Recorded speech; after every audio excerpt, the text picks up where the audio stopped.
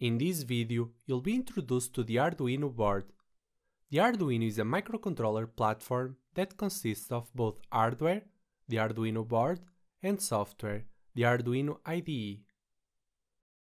That's an Arduino Uno board. It's a circuit board with a microcontroller on it. This microcontroller is the ATmega 328P and it is the brain of the Arduino. You can program it to interact with a physical world like control an LED or activate a motor. The Arduino can also be used to tell what's going on in the world. For example, you can read data from sensors like this ultrasonic sensor that measures distance, this PIR motion sensor that detects motion, or this temperature and humidity sensor. To tell your Arduino what to do, you send a set of instructions to the microcontroller on the board. This set of instructions is called a sketch, and you write your sketches on a software called Arduino IDE, which you're going to explore in a future video. Both the Arduino hardware and software are open source. This means that both can be used freely and adapt as needed. For example, anyone can copy the Arduino design and sell their own Arduino boards. And that's what many companies did.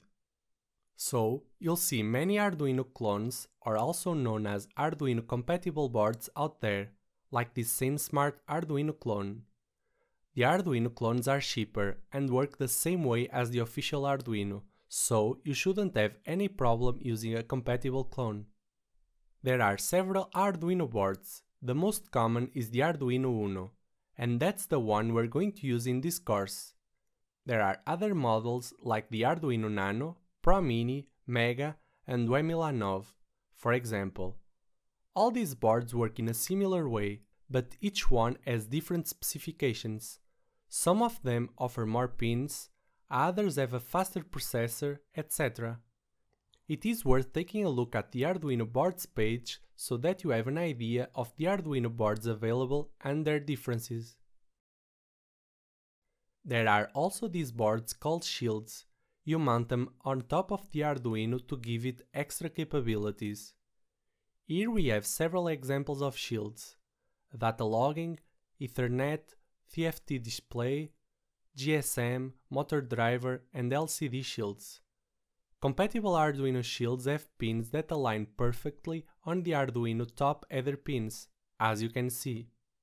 There are also a wide variety of sensors and modules you can use with your Arduino to make great projects in a easy way. You'll see how to use some of them along the course. In the next videos, you'll explore the Arduino hardware in more detail and the Arduino IDE software.